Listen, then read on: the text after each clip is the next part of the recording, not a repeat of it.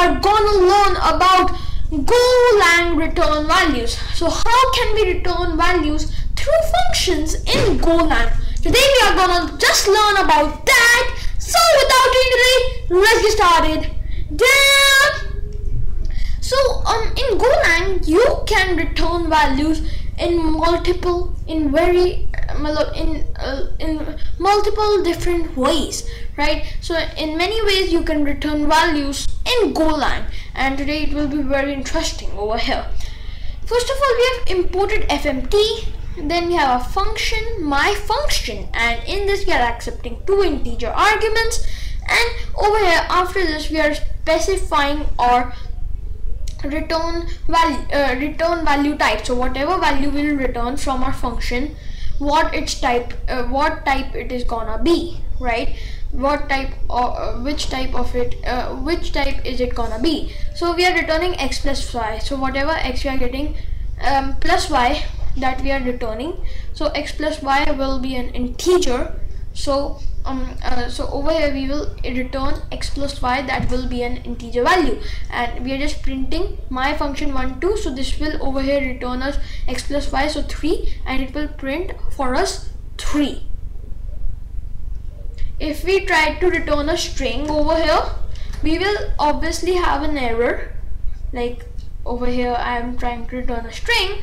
Over here we are gonna we are gonna have an error that um cannot use x plus y type untyped string as type int in return argument. So we have said that the return type will be int. So it is expecting a int but it is getting in getting a string. That's why it is leading um, to an error. Next we have this example where we can say which variable we are gonna return. So over here we have a my function. It is accepting two integer uh, values x and y and this is saying that this method is gonna return an integer value that uh, basically this is saying that this uh, method will return uh, the result variable. So there will be a result variable in this method it is saying and that is gonna be returned and the result value uh, variables type will be integer. So this is saying there will be a result variable in this uh, function of type integer and that result variable will be returned. And over here we have a result variable that is x plus y and we're just returning so automatically it knows now what to return. It needs to return the result variable. So result variable was x plus y that is 3 over here when we get 1 and 2 so it will return 3 right? So this will return 3 now and what we are doing in, in our main function is just printing my function 1 comma 2 over here we are getting the return value 3 so it will print 3 for us. Similarly if we just did result uh, value if we set result value to an, a string it it will say that a result was expected to be an int and um, was a string. Cannot use string type untyped string as type int in assignment. So we get we are getting the same error. Right? Now over here what uh, what we are doing we have specified that oh sorry. So we have specified over here that we are gonna return a, a result variable of type int. But uh, it is not compulsory to return the result variable. Over here uh, um, instead of the result variable we are returning 5 so now this um, function will return 5 instead of the result variable. Whatever result uh, results value will be it does not matter because now we are returning 5 and when we are calling my function 1 comma 2 results value will be 3 but it is our method is returning 5 so still it will work though we have specified that we need to return the result variable of type int still it will we are able to return any other value that we, over here is 5 so when we print this we will get 5 right? But there is something in this also. It is not important to return the result variable but it is important to re return the type of the result variable. So it is important to return the value of the type of the result variable. So results variable type was int and we are saying that this method will return the result variable right? That is of type int but it isn't important to uh, return the result variable. We can return any other value but that any other value should be the data should be of the data type of our result variable. Over here that is int. So over here whatever um, if are not returning the result variable we need to return such a value that is of type um, that is the type of our result variable. So that is int. Results variable data type is int. So now we can only return an int value if we are returning result or not we only need to um, return an int value. It does not matter if we are uh, returning result or not. Uh, the thing that matters is that uh, we need to return an integer value. So over here i'm trying to return a string but this will give us an error because it needs we we need to return um basically a um a integer right? So over here it was returning string so we are getting an error over here quite cool. Now let's see this uh, example over here. When we have specified that um, um, we need to return the result variable so instead of given uh, giving it like this like normally return because it now knows that result variable is gonna be returned we can specify also that we are returning the result variable. So in the future we will have no confusions right? So this will work the same as before when we were giving just the return keyboard. So we are getting 3 cool. Now we have another example. In this what we are doing we are returning the result variable right normally. And in our main method whatever the return value that is coming from this function that is being saved in total and then we are printing the value of the total variable. So whatever this method is returning that is 3 over here because 1 plus 2 is 3 that is being saved in a total variable. So total's value is now 3 right? And we are just printing total. So we will get 3 on our screen right? Quite cool.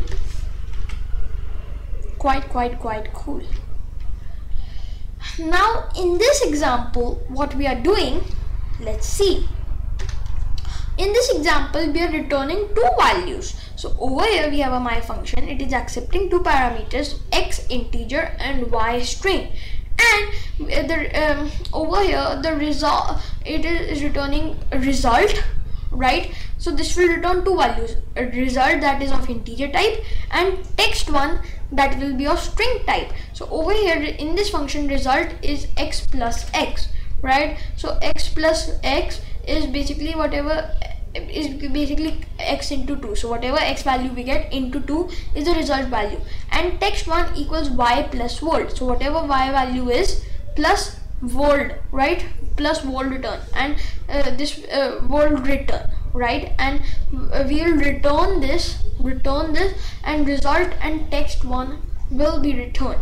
And over in our function main we are just calling my function passing it 5 so 5 so is our integer. So uh, result equals um, 5 into 2 or x plus x 5 plus 5 that is 10 and the second argument is hello. So over here it is getting text um, y that is hello right? And it is setting text 1 equals hello plus a space world space world right?